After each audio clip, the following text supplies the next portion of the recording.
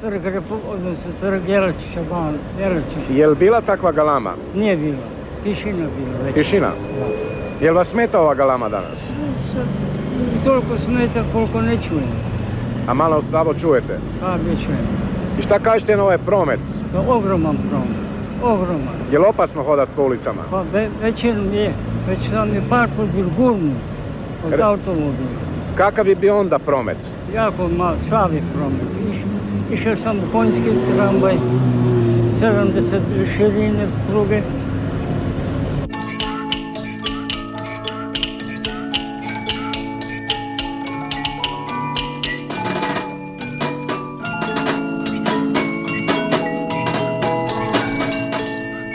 Šta se nalazilo ovdje na današnjem O- trgu Ovdje se Republike? na- nalazilo najprije staklana gnezda.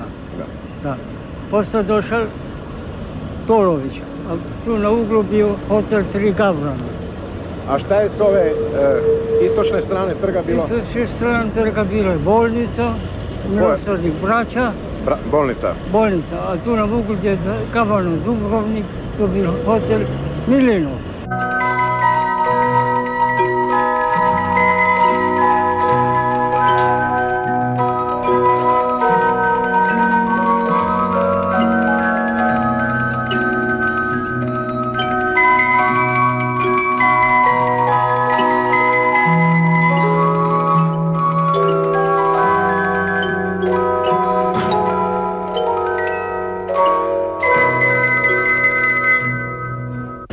Jel se sjećate e, još kad su se gradili tornjevi Ja sam onda još bil u... u, u U Skelama? Da, Skelama, da.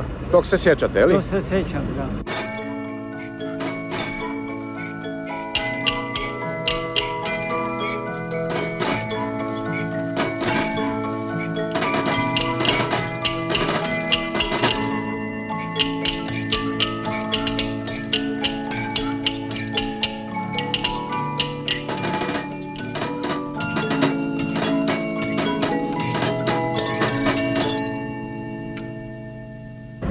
da. Pričajte nam još malo kako je izgledao onda život na tom trgu, šta se događalo, šta se prodavalo. Tu se prodavalo voće i povrće, i kokoši i ovako pilići. Da. Jel se sjećate prvog automobila? Prvi automobil imali je Budicki. A to je bilo oko, oko 8-9. Oko 8. 9. godine. Znate možda čiji je to automobil bio? Ja mislim da je to Budickijev automobil. U ovoj ulici koja se zvala Marovska ulica, Mar, Ma, Majerhof, Ma, Marov. Odakle on e, dovukao taj automobil, ne znam. Taj e, Budicki je bio trgovac tako raznih aparata, instrumenata i, i mo- možda i vozila, bicikla, Da. bicikla, jest tačno. A sasma jasno da je on bio prvi koji se zainteresirao za automobil i on je jurio prvi Zagrebačkim ulicama. Zagrebačkim ulicama. To je bilo prilično drmavo jer, je, jer su Zagrebačke ulice bile kaldrmisane ili taracane. Dozvolite da vas upitam malo, onaj dio bivša Harmica, to jest Da, e, Jelačićev trg, onda onaj dio, e, kako je izgledalo onaj dio gdje je pošta, početak Petrinske ulice? Pazite, tamo gdje je danas pošta, tamo vam je bilo obično smetlište i tamo je bio javni nužnik. Nedaleko na uglu opet ovoga, kak se zove, jezikoslovac naša rijeke, Kureljčeva ulica ne? i Jurišićeve na uglu bila je jedna apoteka koja se zvala Pecinovski. Vlasnik je bio Pecinovski. Nešto dalje, ako idete po ovoj istoj strani prema Jelačićevom trgu, tamo ćete naći jednu malu, jednu malu knjižaru, papirnicu, tamo smo se svi nabavljali teke. A nekoliko koraka dalje je ona čuvena Radićeva sveslavenska knjižara, i ja se sjećam, rado sam išao u tu knjižaru samo radi toga, jer je Radić bio uvijek obučen u narodnu dalmatinsku nošnju. To se meni strašno dopalo, ja sam kad god sam trebao ili ne trebao, Išao sam tamo i onda šta je? Onda mi je uzeo novac kako je bio kratkovida, pa ga je sasvim ovako prilijepio uz oko i ovako je gledao da vidi ima li mi što uzvratiti od toga iznosa ili ne. Jel slučajno znate koliko je otprilike imao Zagreb u to doba stanovnika? Ja mislim da ima oko 60.000. Oko 60. Ja se sjećam kao pučko školac, e, zatekao nas je potres u školi za vrijeme samoga sata. I svi smo, naravno to je bio prvi potres, e, prvi put u životu smo čuli riječ potres. To je bilo koje godine? To je moglo biti e, hiljadu, čekajte, 1900, kažemo 1900. 1900. E, k- Koliko mjeri je tada Zagreb stradao od onog potresa? Ja mislim ne više nego što su se rušili dimnjaci i što su ljudi proživjeli jedan veliki strah. Je bila panika? sve to bilo, bilo je panika, a to se vidjelo i po tome što je sve jurilo na ulicu da vidi šta se to dešava. Dok smo mi došli do ulici, kad smo vidjeli i čuli kako se ruši kako se ruše dimnjaci, mi smo kod djeca znati željno gledali šta je to.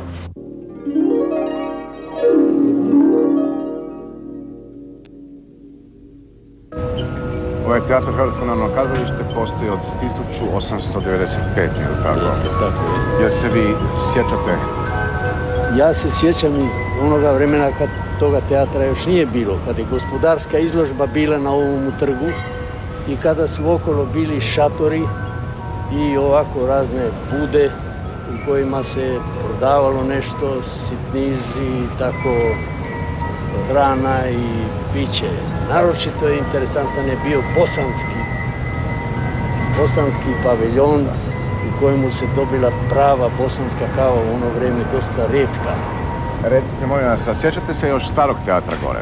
Stari tea- u starom teatru bio sam i sjećam se na predstave, a osobito se sjećam na one stepenice koje su imale, koje su bile vrlo niske, a široke. To mi je imponiralo. I poslije sam ja, naravno kao inženjer, to prakticirao u raznim bolnicama i tako dalje, gdje je takav uspon.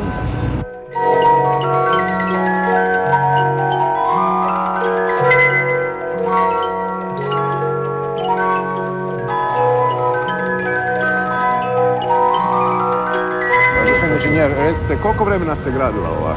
Ja mislim jedno dve, tri godine bez svake sumnje. E, A to je e, Helmer i Fellner, dva Bečka arhitekta. arhitekta, bečka arhitekta koji su gradili u Cirihu i u Gracu. Opere koje su kao sestre slične Da. ovoga, ove zgrade. Ovo kazalište je sagrađeno 1895. godine i onda je bilo svečano otvorenje. Tom prilikom je došao u Zagreb i sam Franjo Josip I, kralj Ugarske, car Austrije i tako dalje.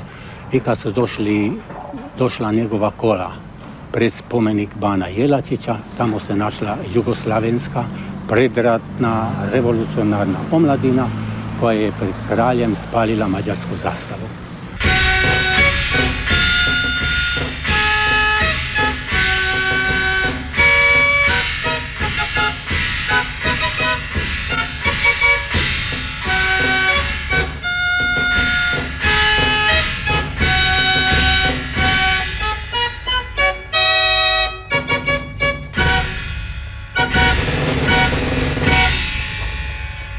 Dolazilo do sukoba između tadašnje vlasti i... Došlo je do takvih sukoba da su studenti ovi morali bježati i otići u Prag. Uglavnom su išli u Prag, u Uglavnom u Prag. Pešta manje, u Beč nešto više i oni su tamo izdavali jedan list studenata, zvao se je Zora. Točno se sjećam kako je taj list izgledao. To nije, to nije bilo u obliku novina, nego u obliku brošura. Jeste nikad slučajno ovaj, Došao u sukob? sukob, sukob dobili Nisam. sa nisam. palicom po glavi? A to je bilo kada su bile demonstracije, kad se instalirao ban Cuvej. Da, Tu su bile velike demonstracije u Zagrebu, na Markovom trgu. na, i na Markovom trgu i tamo u jednoj ulici, ne znam više kako se zove, tamo iza e, gdje su se davali znakovi vremenski,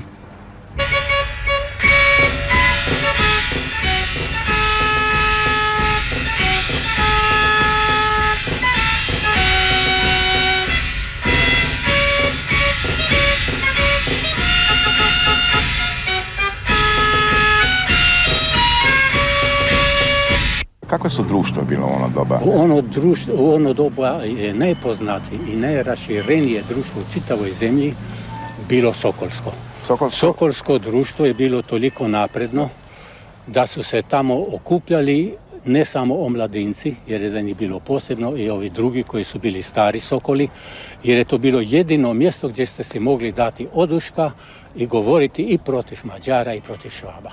Vi ste bili Sokolašica. Kako je to izgledalo, recite? Hrvatski sokol ili? Pa da. Pa I, da. e, Sad nam je jedan član umrlo, stari Frank, Da. Viktor Frank, koji je sada umro. recite, gospođo, e, šta ste radili u Sokolu? Bome gombale, ja sam bila prednjačica, pa kaj vi mislite kad mi jedna skočila dole, ja sam mu morala uhvatiti, a ona mene bacila skupljenom upala. A jeste, Anđela Bajčova.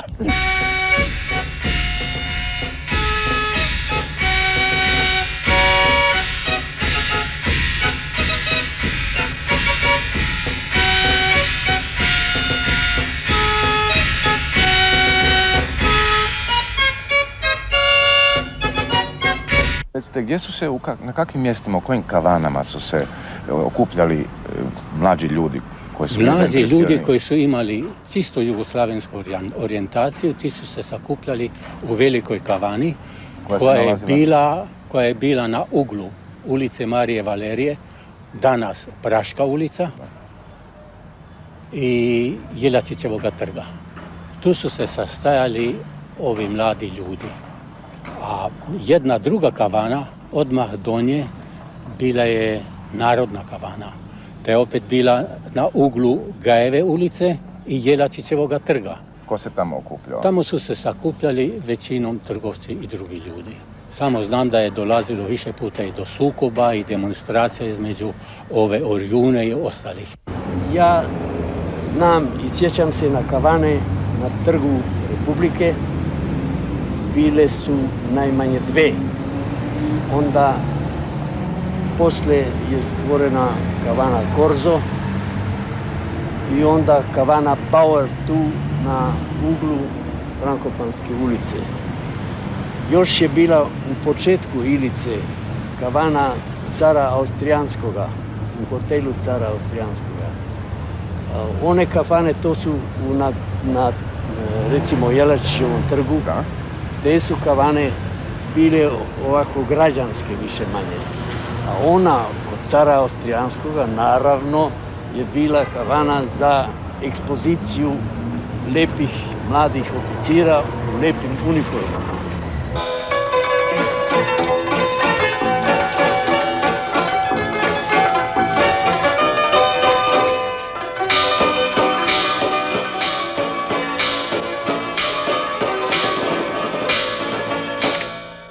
Sad nalazimo ovdje kraj ovog paviljona koji je dio povijesti grada Zagreba i na ovom Zrinjevcu.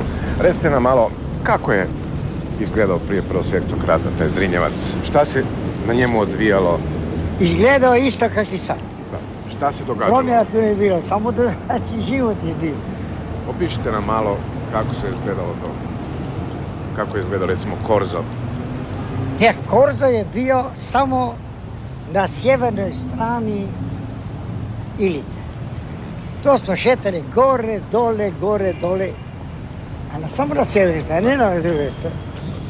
A onda je bilo jedno vrijeme Korzo ovdje, tu na Zrinjevcu, opet ovuda, od, odavde do Čoška do Sima. A šta da vam pričam, bilo je onda to nekako sve više provincijski, Da. nije to bilo velegradski. Studenti glavno red su vodili študenterija Da. i i činovnici. To je bio takozvani činovnički grad. Činovnički grad. E, tu je bio neki orkestar koji je svirao svak... Je, igrala je vojna muzika. Promenadni koncert. Da, promenadni, to je bilo redovito. Da. Sad, sad se događa da igraju, ali, ali ne redovito, ali ono je bilo redovito. Pa to je bilo svaku nedelju. U Ilici se je šetalo po, po tjednom. Znate, ovaj komad do Frankopanske. Od, od Jelačićevog trga do Frankopanske. A nedelja je bil Zrinjevac. Tamo je svirala muzika i onda smo tak malo gledali dečke, dečki malo nas, ali nismo smjeli skupiti.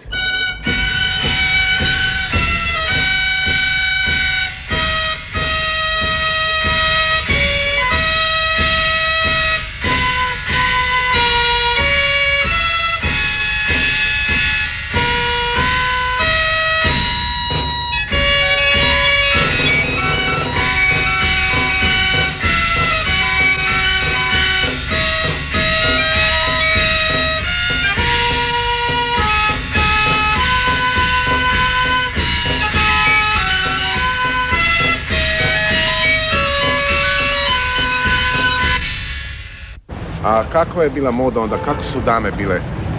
Gdje to za modu, ja ne znam, ja sam većinom gledao na njihove noge. Na noge ste gledali. pa jesi vidjelo šta od nogu? Izvolite, pa malo, malo. Malo. Nekada vrlo malo. Da. Centimetar se vidilo. Centimetar. Centimetar, a ova kad je digla malo, bi- ali inače... Ovoga, Recite, a šeširi kakvi su se nosili? Razno razni, ali bile jedno vreme kad su bili šeširi ogromni. Da. Ogromni šeširi su bili. Da- Da su se da pače pesme popevale. Kakve pjesme? Kaže on, u Ilici frajla, a s njom oficir. On dva put je manji nek njezin šešir. Tak rugalice, ta komedija. Naši očevi recimo su sigurno isto bili prijatelji lijepog spola. O, moj, moj otac pogotovo. Je li? Da.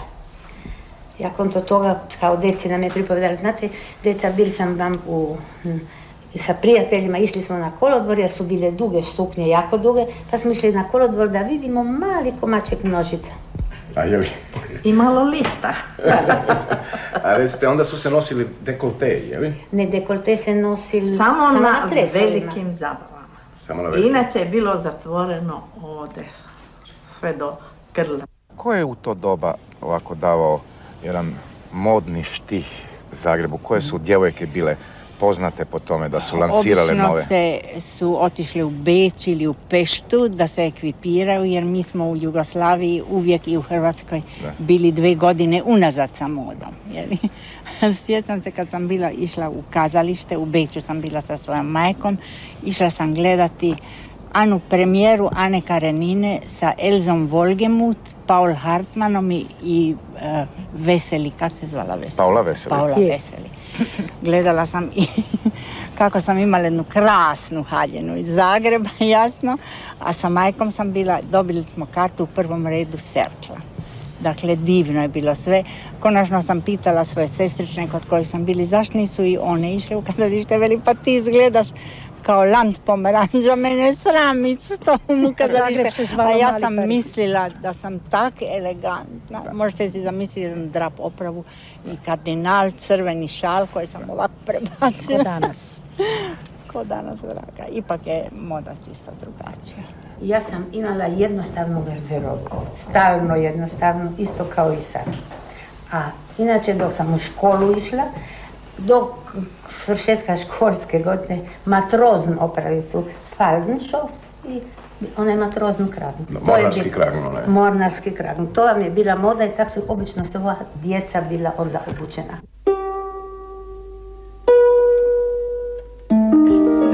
Dobro, kad su se onda djevojke počele hofirati? Kak koja? Koja ranije? Sa koliko koja... godina otprilike? Ja sam jako rano. Jako rano. Šta je to jako rano? E, 14 i pol godine opirat, ali znate, moram vam reći, još danas žalim da moju prvu ljubav nikad poljubila nisam. A to je već trebalo 17 godin, godišnja djevojka biti, ili se skrivala po haustorima isto. Doduše danas se ne skrivaju po haustorima, nego čisto normalno na ulici, konačno. Mi smo i u malom Parizu. Ne? U Parizu ste mogli isto, tram, promet je stao kad su išli dvoje ljubavnika, a danas skoro takaj.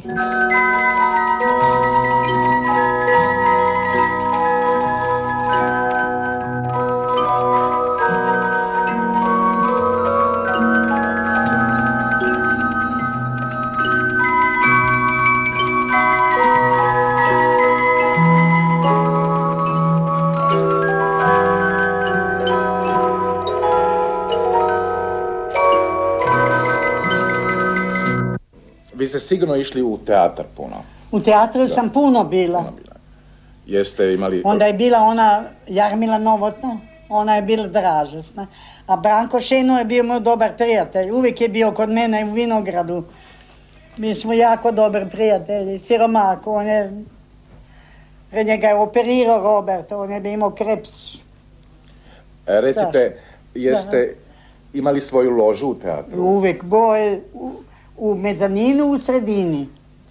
I kako se... Onda, se, onda je bio Geza. Jesus, kak je meni lepo bilo. Onda sam divni šlos, onda smo imali, imali goste. E, Kako ste išli u teatar? Sa konjima. Sa konjima? Ali kakvi? Kakvi konji su bili? Lijepi, žuti, mladi.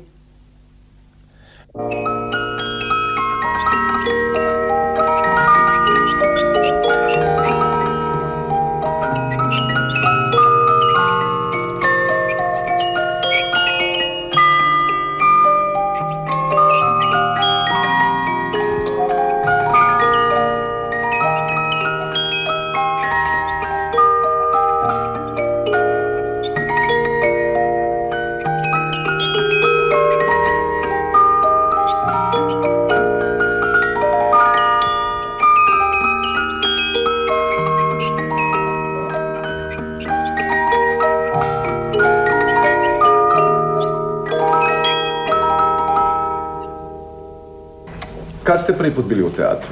O, s deset godina. Sa deset Rano sam išla i jako puno smo išli u kazalište. E, Jeste odlazili sa roditeljima uglavnom u Da, teatar? da, da, stalno u pratnji, stalno. I na ples, isto u, doduše malo sam bila na plesu, samo dva puta jer sam se rano udala, ali ovaj, bil je jako elegantni ples i to oficirski ples u glazbenom današnjem zavodu. Kako je izgledao taj ples? Opišite nam malo. Prekrasno, ne mogu vam reći, jako je lepo bilo. Bio, Ja sam- orkestar je bio. Da, da, orkestar i naravno sami oficiri, generali. A ovaj komandant grada Zagreba, ne znam već kako se zval, on je rekao, moj tutor, no moj tutor je bil kum, eh, general Rat, i on je s njim razgovaral, ja bih htjel da otvorim ples sa najmlađom. I to sam bila pala kocka na mene. I tak su, a sad poslije toga, znate, oficiri su mislili da po- preko mene budu avanzirali. I ja sam plesala, plesala, bila sam jako mlada, onda 14 i pol godina. Vi ste onda bili tamo na tom plesu u pratnji svojih Svojih ti kuma i kume. kuma. A gdje ste naučili plesat da ste već znali sa 14 i pol godina A, plesat? kod se- koronelice bila sam jako dobra plesačica, valcer mi je bil ideal. Recite, šta se još učilo kod koronelice? Sve. Ne, Polka, menuet, polka, sekšina. kadrila. Kadrila, da. Ali ja sam išla sa 14 godina, ali nismo im bili sa dečkima, samo curice. Do 14 godina. Vi ste međusobno, znači djevojke su... Djevojke Sa plesale međusobno. da. A ja, pošto sam jaka bila, ja sam bila kavalir. Recite, jel se sjećate iz tog doba, e, kud ste odlazili na izlete? Samobor, kudi Samobor sa samoborčekom. Omica, a kud ste išli nedeljom? Nedeljom? Da.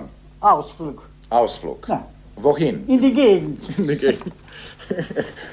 Kam se sve išla? Pa u Samobor malo, to smo jako volili. Onda smo išli ovak malo u Sloveniju. Bilo nam je krasno. Isto sa konjem? Živjeli smo ko bogovi u raju. Isto sa kočijom? Šta duša? Isto sa konjima? S konjima. S konjima. Samo s konjima. Samo s konjima.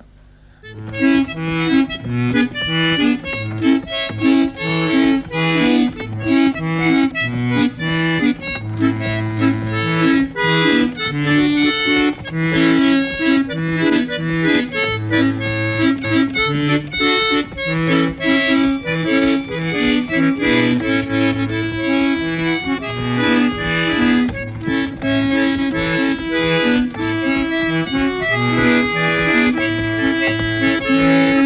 kostimi svi, sviljenim od gl- glota ili takve kakve koje. To se polagano sušilo. Bili ste dugo Nismo bili, nismo bili osjetljivi kak su sada ljudi. Niste bili.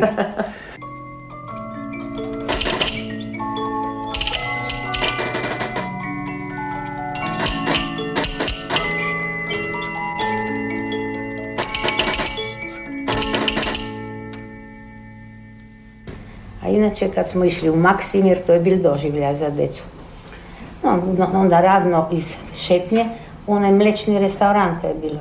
Kod paviljona gore. Ne kod paviljona, nek dalje još od paviljona bilo. A šta se u Maksimiru događalo to doba? I šetali, a onda smo se na jezeru vozili, to je bilo najlepše. U čamcima. U čamcima, da. I labodi su još bili. Labodi. Sjećate se, svakako se sjećate još one vožnje po jezeru Je, i Labuda. I Labuda. Labudi su mnogo još onda bili. Onda Recite zašto mi- su prekinuli te čamce, ne, ne znamo.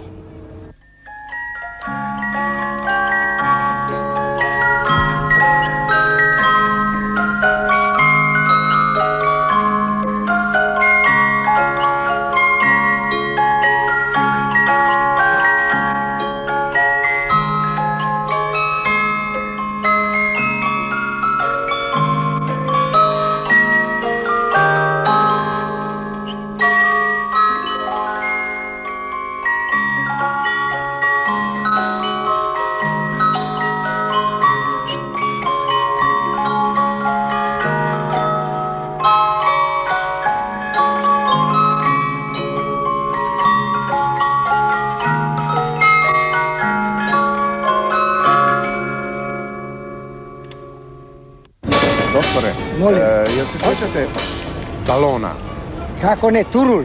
Da. Kad se, ja sam bio prisutan. Pričajte. E, to je, bila, to je bilo kod, tamo vam je, znate, onaj cijeli četverokut. Onoga, ove, ulica 8. maja, onda ulica 8. maja, onda ovaj tu četverokut, znate, onaj, to je bio samo plinara. Tu su bili oni, oni, oni, oni. I radi toga je tamo održavano to na, na trgu taj, to, taj uzdi toga balona, gdje je bio Budicki i neki Mansbar, oblet, jer odande su punili ga, znate, plinu. Sjećam se To kad je se... bila velika senzacija. O, kad se ona zalaži mali Zagreb, to je bilo kolosalno. I koliko je taj e, balon letio? E, ne znam, on je odletio nismo ga više vidjeli. Niste ga više vidjeli. Da, Bog ti pita, negdje se spustio.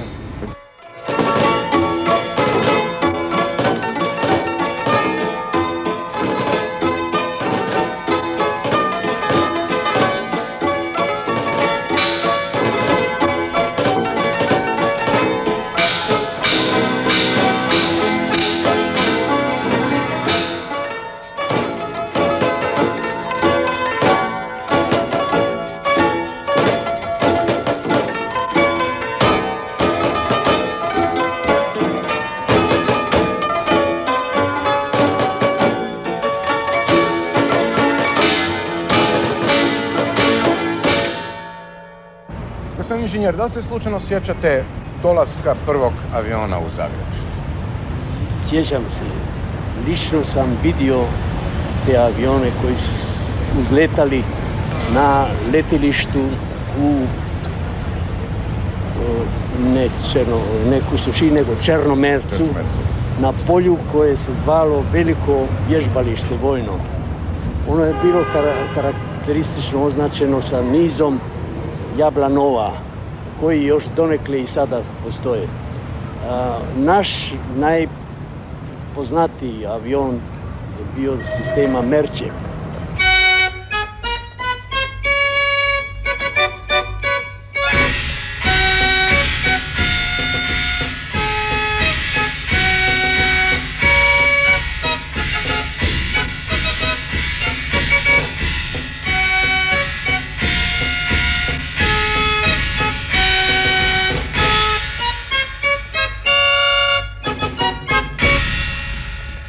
Zagrebu je sigurno bilo mnogo oficira. Oficiri su se često bavili konjičkim športom. Da, da, da. Je li bio u Zagrebu razvijen konjički šport? Prilično, ja sam bio na nekoliko. To su bile negdje tamo iza Save. Bile su utrke, konjske, tako dalje. Ali onda nije bilo još trabrena, to nije bilo. Samo galop. To je bilo na Kulero i Livadama su galop utrke bile. To sam ja išao često. To je bilo često. Jako interesantno.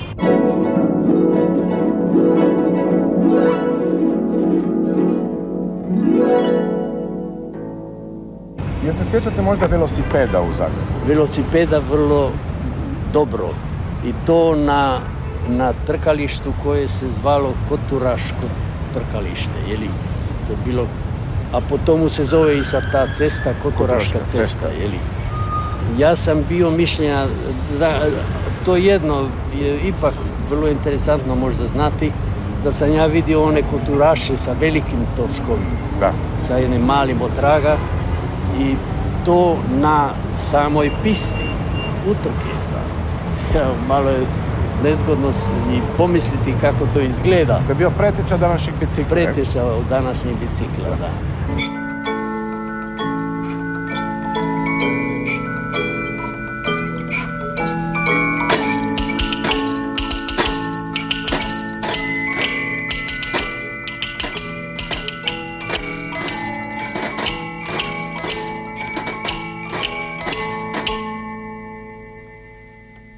vidim tu jednu sliku od tenisa. To su Mađari. To su Mađari. Da, to su Ali ovo- bili Ovo ste vi. u, u Lužnici, tam su tenis igrali.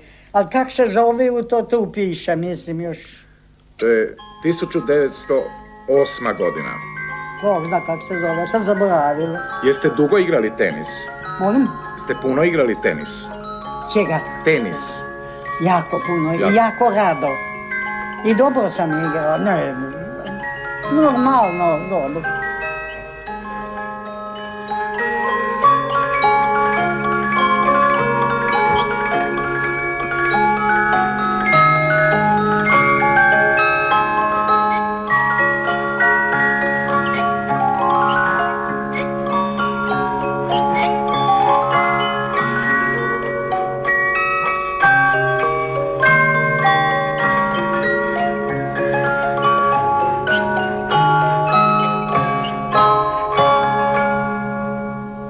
se sjećate prve nogometne lopte? Kad je počeo nogomet u Zagrebu? A, nogomet, ja sam bio taj svjedok prvih nogometnih ne utakmica nego igara.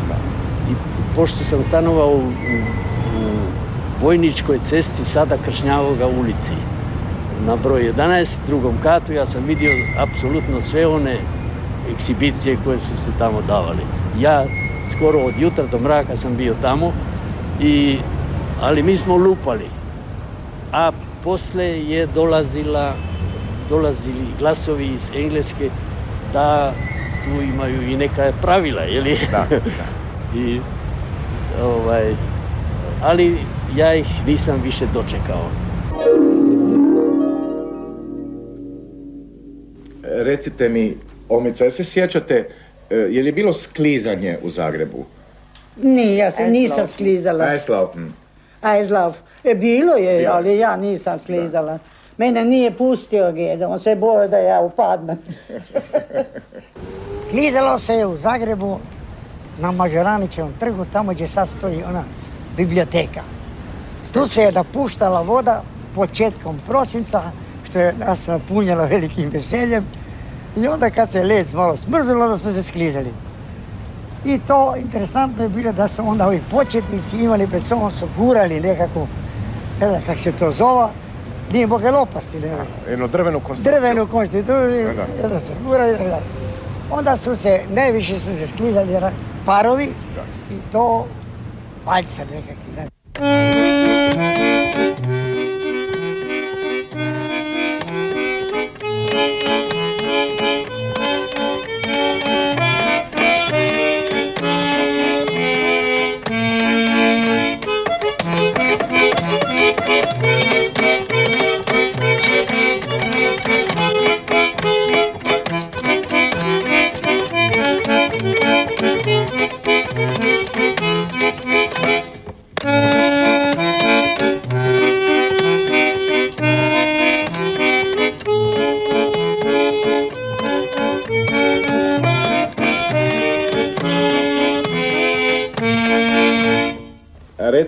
Kakav je bio uopće još društveni život? Jako lep.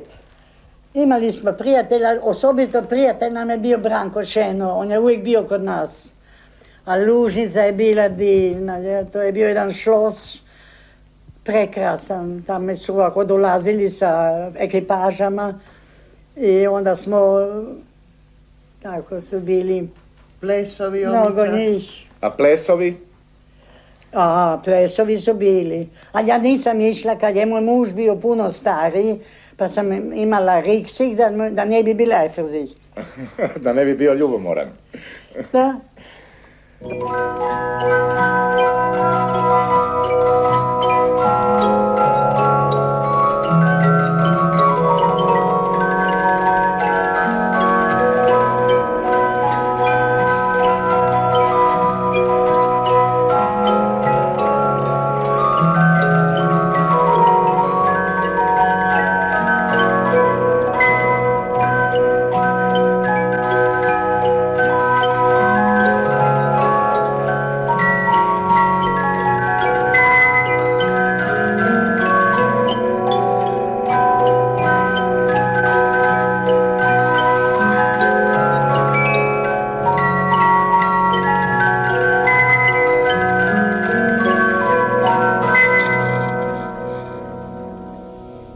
to bio društveni događaj, recimo, ići na koncert? Ne, ne, ne. Ne. Kazalište i koncert i poslije kino, to, to smo išli, naravno ne sami u pratnji, ali to smo mnogo išli. Koncerti, to je bilo jako uvijek posjećeno i veselili smo se, rado smo išli. Pa opće društveni život zagrebaški, jel da muzika, to je bilo glavno. I ljudi su se... Mnogo se je muziciralo i u privatnim kućama. Ove naše stare kuće imaju velike sobe, jeli to su bili uvijek e, dobri klaviri i, i tako. Muzik cimer. Je, bez muzikcije. si nemojte zamisliti jedan gornjogradski stan. Recite, mi se možete sjetiti, recimo, nekih ljudi koji su muzicirali kod vas u kući? Pa čekajte, Šlik je jako puno, Zlatko Baloković, Škalčić pokojni, ne, Čelo. Kako su izgledali onda oni veliki obiteljski blagdani, recimo kad je Svetkovine, Božići? O, to je bilo svečano. Mi kak deca smo kak, kak vrapci čekali u jednoj sobi, tata je o, bor aranžirali sve i onda cin cin i onda smo svi došli. Darovi su bili. Darovi su bili obilni, obilati. Tata je dol, ovaj, naručival čak ove slatkiše iz Beča. Bye.